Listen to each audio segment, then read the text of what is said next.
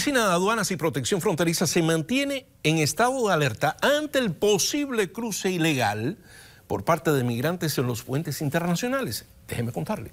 Durante el fin de semana y esta misma tarde, las autoridades han confirmado haber realizado simulacros. Durante estos ejercicios se cierra temporalmente el cruce y son colocadas barricadas en medio del puente.